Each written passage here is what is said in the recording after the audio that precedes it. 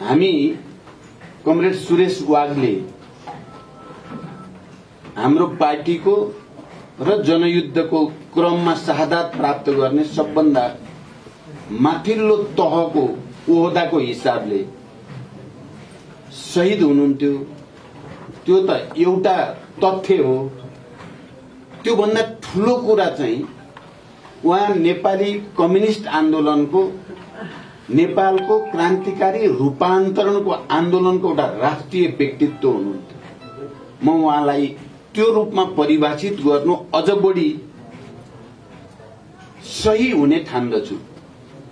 हामीलाई गर्व छ उहाँ माओवादी आन्दोलनको माओवादी पार्टीको पोलिट ब्युरो सदस्य हुनुहुन्थ्यो। त्यो हाम्रो लागि गर्वको कुरा पक्कै पनि हो।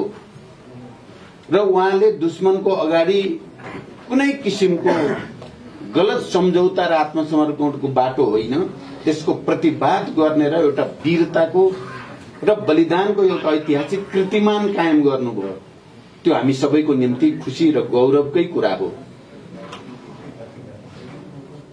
त्यस अर्थमा तर मैले कमरेड सुरेश वाग्लेलाई एउटा राष्ट्रिय व्यक्तित्वको रूपमा किन म यहाँ कमरेडहरूको अगाडि आज उहाँलाई स्मरण गर्दै गर्दा भन्न चाहन्छु भने उहाँको साधातले खालि माओवादी पार्टी त्यसका नेता कार्यकर्तालाई मात्रै तरङ्गित गरेको थिएन।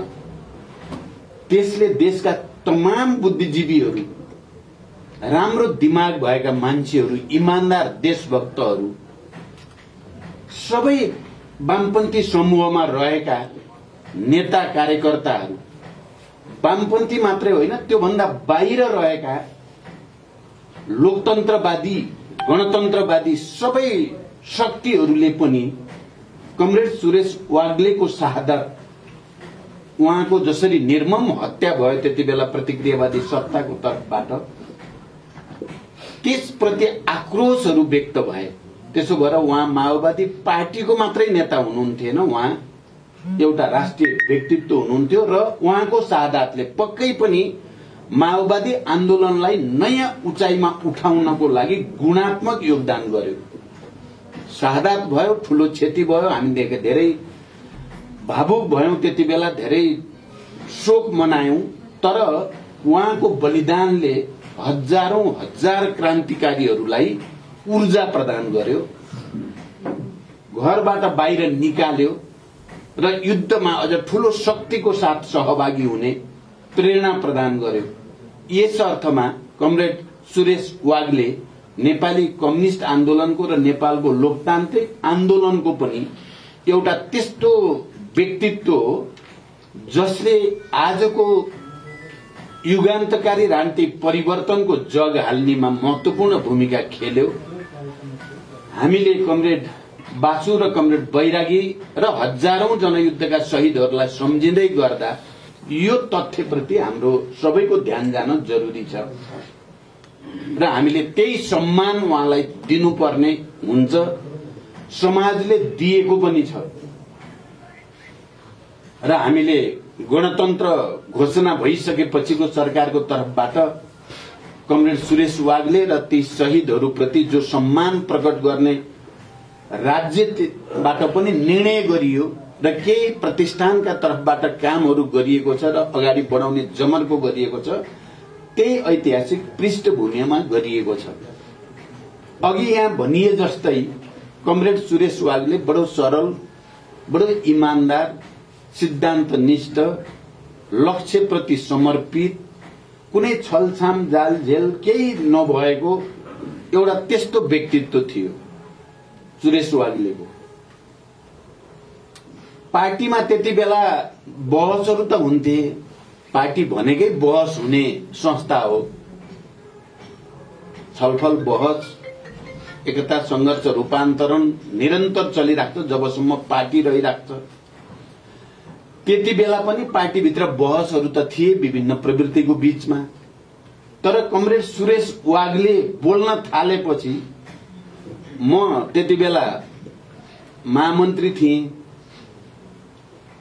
त्यहाँ पार्टीमा कमरेड किरण बाबुराम भट्टराई लगायतका वरिष्ठ नेताहरू त्यति बेलाका हुनुहुन्थ्यो तर कमरेड बासुले बोलेपछि हाम्रो अरू वरिष्ठ नेताहरूमा विवाद हुँदै गर्दा बहस हुँदै गर्दा बासुले जब विषय राख्न थाल्नुहुन्थ्यो सुरेश वाग्लेले वातावरण बडो स्तब्ध जस्तो हुन्थ्यो।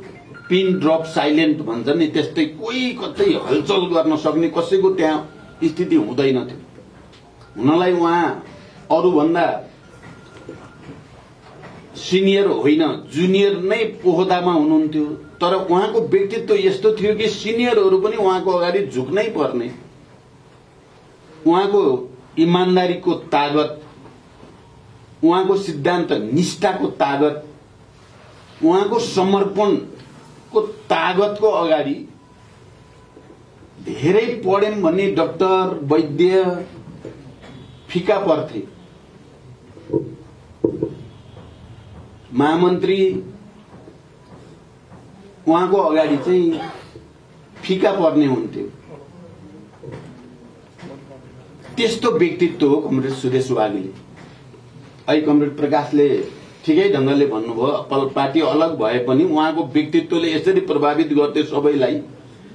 उहाँको बारेमा नेगेटिभ टिप्पणी कसैले गर्ने हिम्मत बाहिरी समाजले पनि गरेन। पार्टी र आन्दोलनको त कुरै छोडिदिउँ। बाहिर कसैले पनि सकेन त्यस्तो व्यक्तित्व बनेको थियो कमरेड सुरेश वाग्ले। एउटा शिक्षकको रूपमा उहाँले खेलेको भूमिका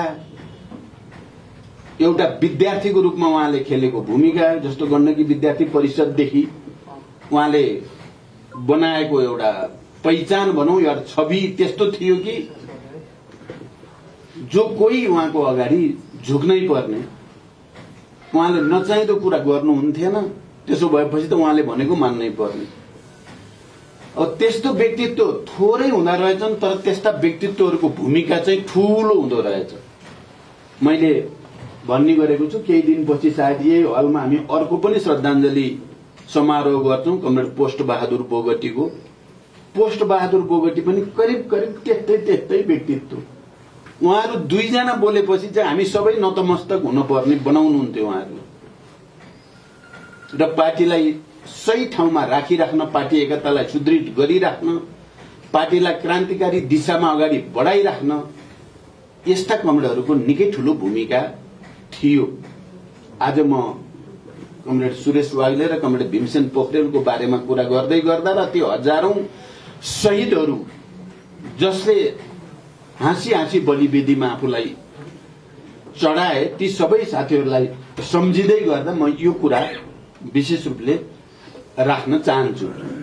अहिले पार्टी हाम्रो शान्ति प्रक्रियामा आएपछि शान्तिपूर्ण र प्रतिस्पर्धाको बाटोबाट समाजवादतिर अगाडि बढ्ने भन्ने रणनीति अन्तर्गत समाजवादी क्रान्तिको रणनीति अन्तर्गत अगाडि बढ्ने औपचारिक निर्णय चाहिँ हामीले गरेका छौँ।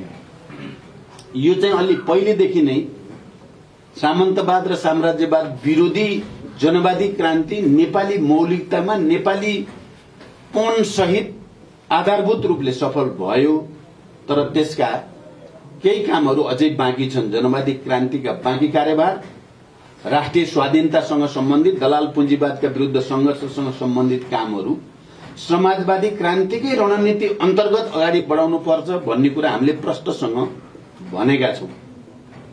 र अहिले झन केन्द्रीय समिति भर्खरको केन्द्रीय समितिमा पारित प्रतिवेदन विधान यो सबैमा त यो कुरालाई सुस्पष्ट ढंगले अगाडि राख्न जमर्को गरिएको छ र त्यसलाई विकसित गर्ने परिमार्जित गर्ने आउने राष्ट्रिय सम्मेलन र महाधिवेशनसम्म जाँदा हामीले यो देशमा वैचारिक राजनीतिक ढंगले एउटा महान बहस हुँदै एउटा महान दिशा निर्धारण गर्ने लक्ष्य राख्नुपर्छ भनेका छौँ। र हामीले निर्धारण गर्ने विकसित र परिमार्जित र संश्लेषित गर्ने विचारले राष्ट्रिय रूपमा मात्र होइन अन्तर्राष्ट्रिय डिबेट पनि ल्याउनेछ ल्याउनु पर्छ भन्ने सोचेका छौँ। आजको विश्वमा फेरि क्रान्ति प्रक्रियालाई अगाडि बढाउनको लागि हामीले विकास गर्ने विचारले एउटा डिबेट र एउटा दिशा निर्देशित गर्न सक्छ गर्नुपर्छ त्यो ठाउँमा हामी छौँ भनेका छौँ हामी। र यो पटक हामी यो पार्टीलाई रूपान्तरण गरी छाड्ने यो पार्टीलाई क्रान्तिकारी दिशामा नै अगाडि बढाइ छान्ने भनेर एउटा संकल्पको साथ केन्द्रीय समिति र स्थायी समितिका बैठकहरू अगाडि बढाइएको छ। र लगातार हाम्रा स्थायी समितिका कमरेडहरू र अन्य कमरेडहरू पनि केन्द्रीय समितिको त्यो भावभूमि त्यो स्पिरिट अनुसार कार्यविभाजनलाई व्यवस्थित गर्न लागिराख्नु भएको छ। हामी सबै लागिरहेका छौँ। तलसम्म एउटा योजनाबद्ध ढंगले पार्टी पुनर्निर्माण गर्ने ओडादेखि स्थानीय तह हुँदै प्रदेश र राष्ट्रिय सम्मेलनसम्म जाँदा पार्टी संगठन पनि सबै देशैभरि व्यवस्थित होस् सापेक्षिक रूपमा र हाम्रा जनसंगठनहरू पनि व्यवस्थित हुन् र अनि आउने दिनमा हामीले सड़क संघर्ष गर्नु पर्दा पनि निर्वाचनको संघर्ष गर्नु पर्दा पनि आफ्नो यन्त्रलाई तम तयार राख्न सकियोस्। हामीले त्यसो गर्न सक्नुपर्छ भनेर हामीले भनेका छौँ। हाम्रो पार्टी र हाम्रो विगत हाम्रो विरासत चाहिँ अरूको जस्तो होइन। हामी अलि भिन्नै विचार भिन्नै प्रवृत्ति भिन्नै एजेन्डा र भिन्नै शैली संस्कारबाट अगाडि आएका हौँ र हामी त्यसलाई अझ सुदृढ अझ विकसित अझ परिमार्जित गरेर जान चाहन्छौँ। तर एउटा तितो सत्य के चाहिँ हो भने हामी बिग्रेका छौँ। हामी त्यस्ता छैनौँ। जति बेला कमरेड सुरेश वाग्ले र कमरेड भीमसेन जस्ताले शहादत दिए या हजारौं शहीदहरू भए क्रान्तिको निम्ति हामी चाहिँ त्यस्ता अहिले चाहिँ छैनौँ। हामी निस्वार्थ रूपमा वर्गको निम्ति सिद्धान्तको निम्ति क्रान्तिको निम्ति राष्ट्रको निम्ति समर्पित भएर लाग्ने र सबभन्दा अप्ठ्यारो काम आफूले जिम्मा लिन खोज्ने लडाईँको अग्रपङ्क्तिमा अग्र मोर्चामा म जान पाऊँ भनेर तछाड मछाड गर्ने जस्ता हामी अहिले छैनौँ। हामी अहिले व्यक्तिगत पद प्रतिष्ठा पैसा स्वार्थ समूह गुट बनाउने आफूलाई व्यक्तिगत रूपले सुरक्षित राख्ने चिन्ताद्वारा हामी अलि बढी ग्रस्त छौँ। हामी बिस्तारै बिस्तारै जसरी एमाले भन्ने पार्टी विचार शून्य छ अहिले त्यहाँ विचारमा बहस पनि हुँदैन विचारसँग मतलब पनि छैन। उनीहरूसँग चाहिँ पद प्राप्त गर्ने तरिका छ। राष्ट्रिय अन्तर्राष्ट्रिय साम्राज्यवादीहरूसँग साँठगाँठ गरेर पैसा डलर ल्याउने तरिका जानेका छन्। त्यो पैसा खर्च गरेर कसरी चाहिँ गुट बलियो बनाउन सकिन्छ भन्ने जानेका छन्। र चुनाव जित्न गर्नुपर्ने सामदाम दण्ड भेद जाल झेल छल कपटमा अलि पारङ्गतै भएका छन्। र उनीहरूको एकताको आधार विचार र राजनीति हुँदैन। अहिले लोगो हुन्छ। सूर्य त्यही हो एमान सूर्य भएपछि सिद्धियो अब त्यो सूर्यभित्र के भइसक्यो भन्ने कुरा त्यहाँ त्यस्तो डिबेट हुँदैन। अनि मदन भण्डारी मदन भण्डारीलाई कसले त्यत्रो षड्यन्त्र गर्यो त्यसको खोजी कसरी गर्ने अपराधीलाई कसरी सजाय दिने भन्ने त्यहाँ चिन्ता हुँदैन।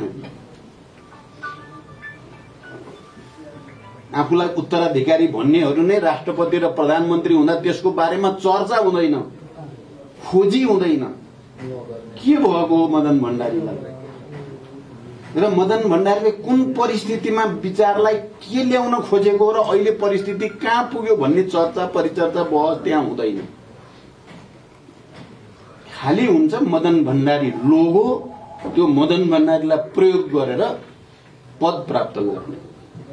सुविधा प्राप्त गर्ने गुट बलियो बनाउने।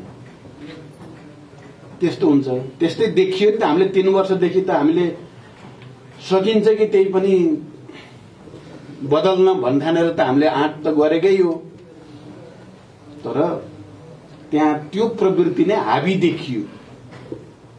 हुँदै हुँदै त्यो प्रवृत्ति कहाँ पुगेछ त भन्दा चाहिँ प्रतिक्रान्ति प्रतिगमनकारी राम सीता लक्ष्मणको मूर्ति बोकेर हिँड्ने। जलहरी रे कथा हो। मार्क्सवाद भन्न नहुने। समाजवादको नाम लिन धेरै नपाइने नहुने। त्यस्तोमा गयो। नाम त मदन भण्डारीको लिएकै छ फेरि। जबज भनेपछि भयो जबज के हो जबज त्यसलाई विकास गर्न पर्ने हो कि होइन त्यसले के गर्यो के गरेन। सबभन्दा ठुलो कुरो त मदन भण्डारीको बारेमा खोजी नीति गर्न मदन भण्डारीका उत्तराधिकारीहरूको दिमागबाट चाहिँ डिलिट हुनु नै चाहिँ दुर्भाग्यपूर्ण छ नि त एमालेको त। पतनको त त्योभन्दा राम्रो प्रमाण त अरू केही हुँदैन।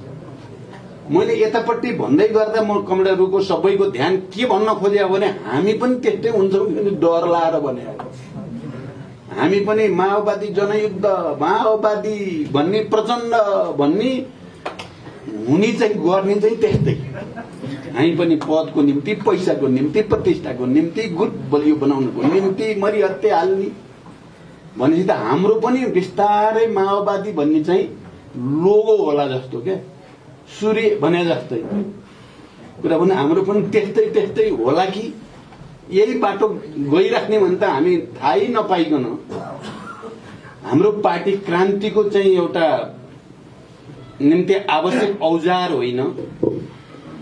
प्रतिक्रान्तिलाई नै घुमाइ फिराइ सेवा गर्ने ठाउँमा पुग्ने हो कि? यो खतरा बडो चाहिँ गम्भीर रूपले देखिएकै छ। त्यसो भएको हुनाले हामीले चाहिँ आजभोलि सोच्न खोजेको तपाईँहरू पनि सोच्नु होला सबै कमरेडहरूले सोच्नै पर्छ। हामी पनि त्यस्तै हुने हो भने त यो पार्टी किन चाहियो भन्ने बहस उठेको छ। यो पार्टीको औचित्य हामी त हिजो त्यत्र त्यत्र शहीदहरू त्यत्रो बलिदान त्यत्रो त्याग समाज रूपान्तरण क्रान्तिको निम्ति सम्पूर्ण चाहिँ समर्पण गरेर हिँड्ने पार्टी आज एमाले जस्तै हुने हो भने त यो पार्टीको आवश्यकता र औचित्य नै के रहेर बरु योभन्दा राम्रो त यस्तो पार्टीलाई विघटन गरिदिनुहुन्छ। यदि त्यस्तै रहिराख्ने हो हामी भने मैले भन्ने गरेको छु मार्क्स एङ्गल्सले आफैले बनाएको कम्युनिस्ट इन्टरनेसनल गलत भयो अवसरवादी धारतिर प्रवृत्तितिर गयो सच्याउने सम्भावना रहेन। बल गर्दा नि सच्याउनै सकिने हुँदो रहेछ नि मार्क्स एङ्गलले नसक्ने। वैज्ञानिक समाजवादका जन्मदाता आविष्कारक द्वन्दात्मक तथा ऐतिहासिक भौतिकवादका आविष्कारकहरूले आफैले बनाएको इन्टरनेसनल आफैले सच्याउन नसक्ने काम नलाग्ने पत्रु भयो भनेर विघटन भनेर चाहिँ लाइब्रेरीतिर जानुभयो कार्ल मार्क्स त्यतापट्टिबाट बरु अध्ययन अनुसन्धान गरेर पुँजीलाई चाहिँ पूर्णता दिएर चाहिँ मानव जाति वर्गको निम्ति हामी सेवा गर्न सकिन्छ भन्नु चाहिँ सही रहेछ क्या? तपाईँ हामी सोचौँ त एकचोटि। हामी आफै अब यस्तै यस्तै हुँदै जाने पद पैसा प्रतिष्ठा गुट अराजकतालाई नै प्रश्रय दिने र एमाले जस्तै हुने हो भने चाहिँ हामी मार्क्सका चेला हौँ या मार्क्सवादका हामी अनुयायी हौँ भने त यसलाई विघटन गरिदिनु बरु इमान्दारी हुने भयो क्या? यस्तो पार्टी चलाएर जनतालाई धोका जनतालाई हामी क्रान्ति गर्छौँ भन्ने गर्ने चाहिँ प्रतिक्रान्ति। भएपछि त धोका हो नि जनतालाई त। त्यो धोका नदिने हुनको लागि चाहिँ बरु विघटन गर्ने भन्ने छलफल चल्न खोज्छ आजको। बरु चाहिएन नि। अब जसलाई अब त्यस्तै गर्नु छ एमालेमै गएर गरे भयो नि त गुट बनाउने पैसा कमाउने पद प्राप्तको लागि तचाड र मचाड गर्ने। जानुभयो नि त हाम्रा केही साथीहरू। त्यसै गर्न मन लाग्यो त सबै गए भयो नि त हामी पनि। एमालेमै जाने एमाले जस्तै हुने गुट बनाउने पैसा कमाउने पद प्राप्त गर्ने दलालहरूसँग साँठगाँठ सम्पर्क गर्ने बढीभन्दा बढी तिनीहरूसँग चाहिँ तिनीहरूको स्वार्थ पुरा गरिदिने भने त एमाले हुनु नै राम्रो नि। एमाले हुँदा त्यहाँ चाहिँ सबै खालको मिल्या छ तिनीहरूको। नेटवर्क छ सेट छ। हाम्रो त सेट पनि छैन हामी त त्यो पनि नजान्ने भइयो क्या। त्यसमा हामी पछि पर्ने भइयो। हामी सक्दैनौँ उनीहरूसँग कम्पिट गर्न। एमाले र काङ्ग्रेससँग त्यही बाटोमा त्यही लाइनमा त्यही चरित्र त्यही विशेषतामा हामी कम्पिट गर्नु हामी चाहिँ साना पर्छौँ धेरै कमजोर पर्छौँ। हामीले सक्ने भनेको क्रान्ति गर्न हो परिवर्तन रूपान्तरण नयाँ समाज निर्माण गर्न सक्ने हो। हामी हाम्रो विशेषता त त्यो चाहिँ हो। त्यो गर्न नसक्ने हो भने यसको औचित्य नै के रहन्छ भन्ने प्रश्न कमरेडहरू विचार गर्नलाई यो म नकारात्मक ढङ्गले भनेको चाहिँ होइन। हाम्रो रूपान्तरण अब सामान्य बलले नहुने भयो। बल अलि धेरै गर्न पर्यो मेहनत धेरै गर्न पर्यो भन्न खोजेको हो सार कुरा चाहिँ। फेरि यति भनेर म अर्को एउटा पाठ भन्छु। हामी नै त्यो पार्टी हो फेरि। जसले यहाँ प्रतिगमन हुन लायो हिजोका आन्दोलनका क्रान्तिका जनयुद्धका उपलब्धिहरूमाथि घारे हात लाएर यसलाई खोज्न कोही आउँछ भने तुरुन्तै फिल्डमा सडकमा निक्लिएर चाहिँ नाराबाजी गरेर भिडन्त गरेर अर्को खालको नयाँ खालको जनयुद्ध लडिहाल्न तयार हुने चाहिँ फेरि हामी नै हो फेरि। हाम्रै पार्टी हाम्रै कार्यकर्ता हाम्रै समर्थक जनता हो। यो पक्ष फेरि हाम्रो सिद्धिएको छैन। खतराको घन्टी उतापट्टि बजिराखे पनि फेरि सकारात्मक पाठ चाहिँ हाम्रो के छ भने हामी त्यसो गर्छौं। अहिले पनि हाम्रो भित्र चाहिँ आन्दोलन गर्ने परिवर्तनको निम्ति अन्याय अत्याचार विदेशी हस्तक्षेपका विरुद्ध लड्ने पार्टीले कार्यक्रम बनाएर ल्यायो नेतृत्वले ल लड्न जानु पर्यो भन्ने हो भने मलाई लाग्छ जराक जुरुक हामी उठ्नेमा छौँ फेरि। हामी बिग्रेका छौँ तर फेरि हामी हामीलाई त्यो क्रान्ति मोह परिवर्तन र जनता र राष्ट्रप्रतिको जिम्मेवारी बोध चाहिँ मनबाट गएको चाहिँ छैन। व्यवहार चाहिँ दिन प्रतिदिन अर्कोतिर कदम चाहिँ अर्कोतिर बढिरहेका छन्। तर मनभित्र चाहिँ फेरि हाम्रो त्यो छ र पार्टीले लिडरसिपले यदि चाहिँ परिवर्तनको निम्ति चाहिँ आह्वान गर्यो भने हामी जरेक जुरुक उठेर फेरि प्रतिक्रियावादीहरूको साटोपुत्लो खान सक्ने तागत यही पार्टीसँग छ। यो चाहिँ फेरि हामी सबैको निम्ति एउटा उज्यालो भविष्यको शुभ संकेत हो। हामी सबैको निम्ति गौरवको कुरा हो। यो कुरा पछिल्लो चोटि राम्रै प्रमाणित भयो। हामी नेकपा एमालेसँग एकता गर्यौं हाम्रो सपना थियो एमाले भित्र भएका इमान्दार कम्युनिस्टहरूलाई पनि हामी नेतृत्व गर्न सक्छौं रूपान्तरण गर्न सक्छौं। एउटा विशाल कम्युनिस्ट पार्टी बनाएर नयाँ तरिकाले समाजवाद निर्माण गर्न सक्छौं भनेर गरे होइन हो हामीले एकता हामीले आत्मसमर्पण गर्न एकता गरे त होइन। बरु राजनीतिक प्रतिवेदन र त्यति बेलाको विधान हेर्नुभयो कमरेडरले हेरिराख्नु भएकै होला। हेऱ्यो भने त्यो चाहिँ क्रान्तिकारी नै छ। प्रतिवेदन क्रान्तिकारी नै छ विधान क्रान्तिकारी नै छ। माओवादी जनयुद्धले नै यो देशमा जागरण ल्यायो उत्पीडित वर्ग जाति क्षेत्र लिङ्ग समुदायमा एउटा ठूलो राजनीतिक जागरण माओवादी जनयुद्धले ल्यायो भन्नेमा केपीले हस्ताक्षर गरेका छन्। संघीय लोकतान्त्रिक गणतन्त्र स्थापनामा मुख्य भूमिका माओवादी जनयुद्धकै हो भन्ने कुरामा केपीले हस्ताक्षर गरेका छन्। राजनीतिक प्रतिवेदन ड्राफ्टकर्ता यही हुनुहुन्छ। त्यहाँ त हामीले गल्ती गरे त होइन। हाम्रो आँट थियो के भने सबैलाई चाहिँ रूपान्तरण गरेर क्रान्तिकारी बनाएर यो देशलाई तिस चालिस वर्षसम्म हामीले लिड गर्छौं र समाजवाद चाहिँ हाम्रै अभियान अन्तर्गत ल्याउँछौं भन्ने सपना थियो। तर धोका भयो। केपी ओली धेरै पर गइसकेको र केपी ओलीको पछाडि जो जम्मा भएका रहेछन् ती भएभरका प्रतिक्रियावादी जति केपी ओली वरिपरि गोलबन्द भए।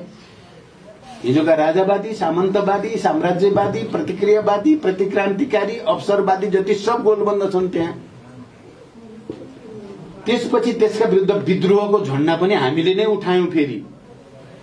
एकताको झण्डा हामीले नै प्रस्तावित गर्यौं र गलत प्रवृत्तिका विरुद्ध निर्ममतापूर्वक लड्नुपर्छ अर्को उपाय छैन भन्ने भएपछि हामी लड्यौं। पार्टी केन्द्रमा त हामी लड्यौं लड्यौं।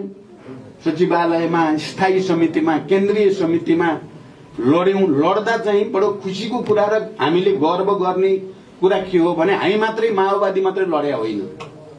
पूर्व एमालेको पनि ठूलो हिस्सा त्यो निरङ्कुशता र प्रतिगमनका विरुद्ध केपी ओली प्रवृत्तिका विरुद्ध दलसँग लडेकै हो। लडेकोले त लडेको भन्नु पर्यो नि। तपाईँ हामी देशव्यापी अभियानमा हामी झलनाथ माधवहरू जुन अभियानमा हामी हिँड्यौं हाम्रो भाषा एउटै थियो। प्रस्तुति एउटै थियो। प्रतिक्रान्ति हो सहन सकिँदैन मानिँदैन भन्ने थियो नि संसद विघटन पहिलोचोटि भएपछि। त्यति मात्रै होइन केन्द्रीय समितिको चाहिँ ठूलो बहुमतद्वारा कारवाही गरियो केपीको निरङ्कुशता माथि।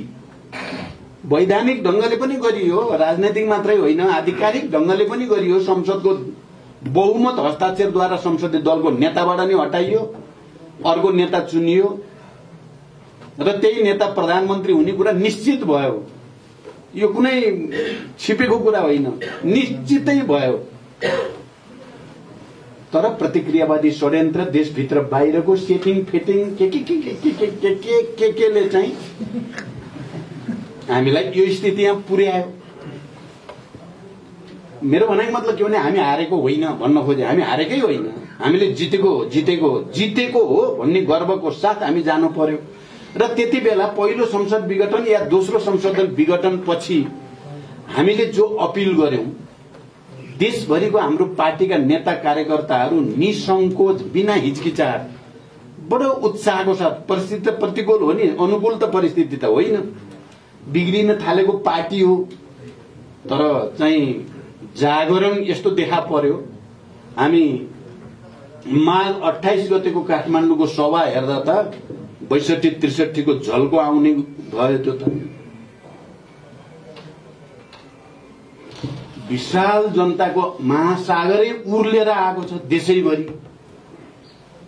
र हामी त्यसको नेतृत्वमा छौँ। भनेपछि अर्को पाठ फेरि हाम्रो के छ भने रूपान्तरणको सम्भावना भएको परिवर्तनको पक्षमा जाने र शहीदहरूको त्याग र बलिदानलाई सम्मान गर्न सक्ने पार्टी हामी नै हो। यो कुरा पनि पुष्टि भएको छ फेरि।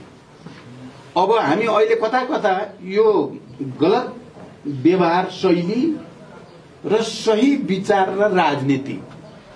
विचार र राजनीतिले हामी संहिता गणतन्त्र धर्म समाजवाद समाजवाद उन्मुख अर्थतन्त्र उत्पादनको निम्ति सङ्घर्ष श्रमसँग सम्बन्ध इत्यादि इत्यादि। ठिकै कुरा गरेका छौँ हामीले व्यवहार हेऱ्यो भने संसदवाद संसद आज अलिकति संसदवाद भोलि अलिकति संसदवाद हुँदै हुँदै एमाले भइरहेका छौँ फेरि। आन्दोलन गर्ने भन्यो भने जुरुक्कै उठेर सडकमा हाम फाल्छौँ। अनि यतापट्टि सत्ताको कुरा आउँदाखेरि फेरि हामी संसदवादीतिर जस्तै देखिन्छौँ। यस्तो दोसादमा जस्तो हाम्रो पार्टी परेको छ अहिले। अब योभन्दा अलि उतापट्टि गयो भने एमाले हुन्छ माओवादी सिद्धिन्छ यो भन्दाबाट अलिकति चाहिँ बायाँतिर ढल्क्यो भने यो क्रान्तिकारी महान पार्टी भएर फेरि एकचोटि देशलाई झकझ्याकाएर नेतृत्व गर्न सक्छ। त्यसकारण हामी अहिले केन्द्रीय समितिले भनेको हामीले शहीदहरूप्रति सम्मान गर्दा श्रद्धाञ्जली गर्दा अपिल गर्न खोजेको कुरा यो छ कमरेड। हामीले आत्मसमीक्षा गरेका छौँ हामीले पनि गल्ती गर्यौं तपाईँहरूले हेर्नुभयो उन्नाइस पृष्ठ लामो केपी प्रवृत्तिका विरुद्ध सङ्घर्षको दस्तावेजमा गल्ती हामीबाट पनि भयो भनेर खुलस्त भनिएको छ। माघ अठाइसको आमसभामा हामीले बोल्दाखेरि पनि हामीले भनेका छौँ हाम्रा पनि त्रुटि भए। समयमै यसलाई चाहिँ नेस्तनाबुद गर्ने कुरामा हामी अलि उदार भएर अलिअलि चाहिँ अनावश्यक सम्झौता पनि हामीले गर्यौं र गलत प्रवृत्तिले त्यहाँनिर चाहिँ हाबी हुने मौका पायो भनेर पनि हामीले भनेका छौँ। हामी कम्युनिस्ट हौ गल्तीलाई गल्ती स्वीकार्न हामीलाई कुनै अप्ठ्यारो छैन। हामी इमान्दार छौँ राष्ट्र र जनताप्रति त्यसकारण हामीलाई केही अप्ठ्यारो छैन। तर त्यसो गर्नुको हाम्रो मकसद चाहिँ रूपान्तरण नै हो क्रान्तिकारी दिशामा। अहिले हामी जनयुद्धतिर त जाँदै छैनौँ। अहिले परिस्थिति पनि त्यो छैन। शान्तिपूर्ण र प्रतिस्पर्धामै छ। म कमराल अब अन्तिममा के भनेर चाहिँ यो श्रद्धाञ्जली सभालाई अन्त्य गर्न चाहन्छु भने हामीले यो संविधान बनाउने बेलामा हामी केही नोट अफ डिसेन्ट दर्ता गरेका छौँ संविधान सभामा। हामीले यो देशका उत्पीडित वर्ग जाति क्षेत्र लिङ्ग समुदाय को पहिचान र अधिकार जति यो संविधानमा हुनुपर्ने हो त्यति छैन।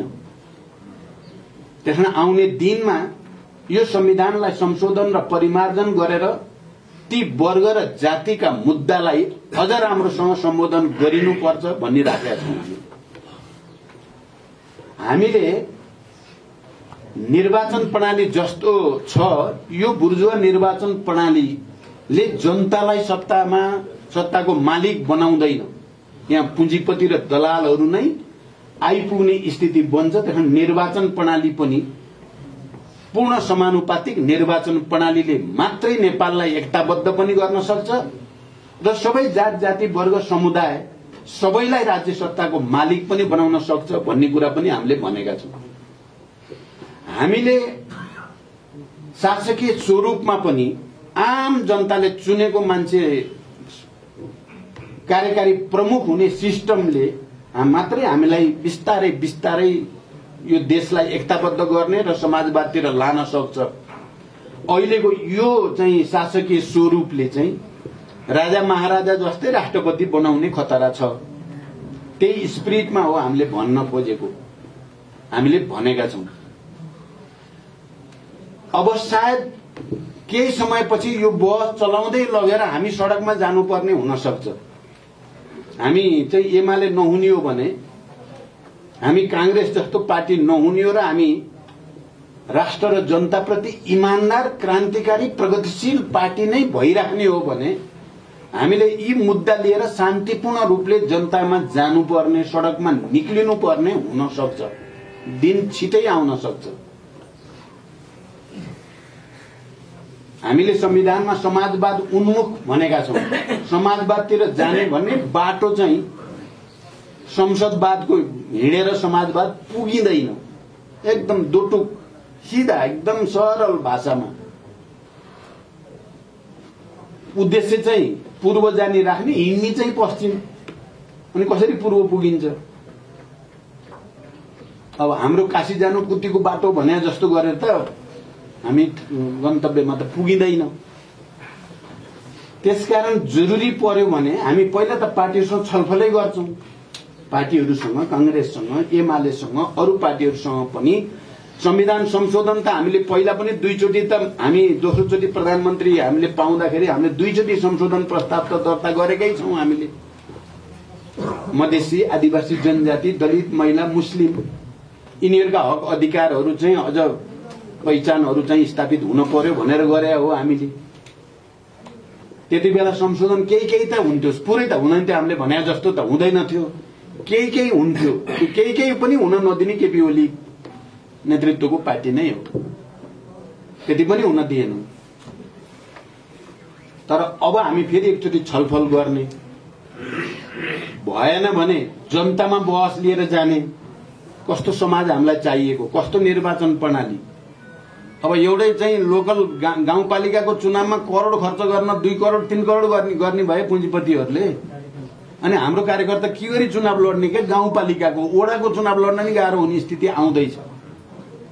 प्रदेशको चुनावमा दुई चार करोड नभई नहुने जस्तो। सङ्घको चुनावमा दस पन्ध्र करोड कति चाहिने। कसरी लड्ने त्यो चुनाव? अनि गरिबले श्रमजीवीले लड्ने हुन्छ त। हामी कम्युनिस्ट पार्टीका नेता कार्यकर्ता लड्यौँ भने पनि जित्ने स्थिति बनाउनलाई दलाल पुँजीपतिसँग गलत सम्झौता गर्नुपर्ने नोकरसाहरूसँग गर्नुपर्ने भएपछि त यो निर्वाचन प्रणालीले त हामीलाई ठिक ठाउँमा लाँदैन भनेर जनतामा बहस लैजाने। अब त्यति गर्दा पनि भएन भने आन्दोलनमा जाने भिन्ने शान्तिपूर्ण आन्दोलनको आँधी बेरी हुरी चाहिँ चलाउन पर्ने पनि हुन सक्छ। अनि मात्रै चाहिँ हुन्छ। हामीले जनयुद्धको बेलामा हामी बासुजी हामीहरू चाहिँ सधैँ भन्ने गर्थ्यौँ क्या यो युद्ध भनेको क्रान्तिकारी युद्ध भनेको के हो अरे भने खालि प्रतिक्रान्तिकारी सामन्तवादी साम्राज्यवादी या प्रतिक्रियावादीलाई परास्त गर्ने आन्दोलन मात्रै होइन। यो हामी स्वयं क्रान्तिकारी भित्र भएको फोहोर मैला सफा गर्ने अभियान पनि हो क्या युद्ध आन्दोलन क्रान्ति। त्यसले फोहोर मैला पनि सफा हुन्छ उता दुश्मन पनि हार्छ। हामीलाई अब एउटा नयाँ आन्दोलन र विद्रोह चाहिएको छ। जुन विद्रोहले हाम्रो यो विचार थुप्रिएको फोहोर पनि हाम्रो पनि साफ होस् फटाहरूलाई चाहिँ परास्त पनि गर्न सकियोस्। यसरी पनि सोध्नु पर्छ भन्ने यदि हामी शहीदहरूप्रति सच्चा श्रद्धाञ्जली र इमान्दार हुने हो भने यहाँ अघि पनि आयो मेरो पनि भनाइ त्यही नै हो। पहिला हामी आफैलाई हेरौँ। आफूलाई बदल्न हामी तयार हो कि होइन? अरूलाई बदल्ने कुरा हामीले बढी गरेका छौँ आजभोलि हामीले अरूलाई यो त्यसले ठिक गरेका छैन भन्न चाहिँ हामी धेरै सिपालु भएको छौँ। मैले ठिक गरेका छैन भन्नेतिर हाम्रो त्यति चिन्ता छैन कि? मैले त ठिकै गरिरहेको छु। म त ठिकै ठाउँमा छु। अर्कोले गरिरहेको छैन भनेका छौँ।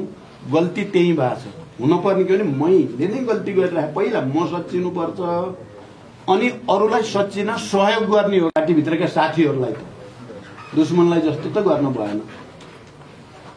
यसो गर्ने आवश्यकता छ कमरेडहरू त्यस कारण आज सुरेश वाग्ले प्रति हामीले श्रद्धाञ्जली अर्पण गर्दै गर्दा जनयुद्धका ती तमाम शहीदहरूप्रति गर्दै गर्दा यतातिरबाट सोच्नुपर्ने आवश्यकता छ। एउटा नयाँ आन्दोलन अब देशमा चाहिन् चाहिने चाहिने देखिँदैछ। यहाँ कतिपय कुराहरू अहिले पनि आइरहेका छन् विदेशले यो गर्ने रे ऊ गराउन खोजेछ अरे भन्ने छन्।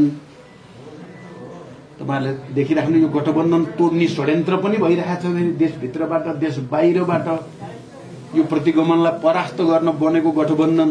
हामीले यो गठबन्धनलाई भनेको के छ भने संविधानको रक्षा लोकतन्त्रको रक्षा गणतन्त्रको रक्षा र राष्ट्रको रक्षाको निम्तिको गठबन्धन भनेको छौँ भनेका हौँ छौँ यसको यसलाई विभाजन के गरी गर्ने? यसलाई एमसिसी प्रयोग गरेर यसलाई फुटाउन सकिन्छ कि? एमसिसी भनेर ल्याइदिएपछि चाहिँ भनेर एक थरी लागिराखेका छौँ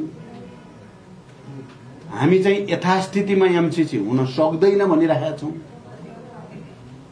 हामी सकेसम्म गठबन्धनलाई बचाएर यसको पनि समाधान सकारात्मक ढङ्गले होस् देशलाई क्षति नहुने ढङ्गले भन्ने चाहेका छौँ। तर अर्को वर्ग चुप्लाएर बसेका छैन। अर्को वर्ग पनि पुरै तागतका साथ यो गठबन्धन के गरी तोड्ने प्रतिक्रान्तिलाई के गरी निरन्तर अगाडि बढाउने माओवादीहरूलाई के गरी घेरा हालेर सिद्ध्याउने किनभने अहिले तपाईँ हामी चाहिँ ले त त्यति धेरै सोध्दैनौँ। अर्कोको लागि त हामी अहिले पनि उस्तै छौँ। मैले भने हिजो जनयुद्धको बेलामा घेरा हाल्ने र सखाप पार्ने रणनीति थियो विरोधीको सरकारको त्यति बेला। हाम्रो घेरा तोड्ने र प्रतिरोध गर्ने हाम्रो रणनीति थियो। अहिले पनि यो संसद विघटन दुईचोटि भयो उनीहरूले हामीलाई घेरा हालेर माओवादी सिद्ध्याउनेतिर लागे हो माओवादी एजेन्डा सिद्ध्याउन लागे हो। हामीले पनि चाहिँ घेरा तोड्ने र चाहिँ फेरि प्रतिरोध गर्ने नीति हामीले पनि त्यही लिए हो। हिजो बन्दुक लिएर गरिन्थ्यो अहिले हात लिएर गरिएछ मुख लिएर गरिएछ संगठन लिएर गरिएछ जनता लिएर गरिएछ कुरा त्यही हो कमरेडहरू त्यस कारण यसमा सबैले सोचौँ अब आजै निर्णय गर्न भनेर मैले यति कुरा त भनेको होइन। सबैले गम्भीर रूपले सोचौँ हामी त्यो जातका होइनौँ हामी अर्कै जातका मान्छे हौँ हामीले आफ्नो जात त्याग नगरौँ। धन्यवाद।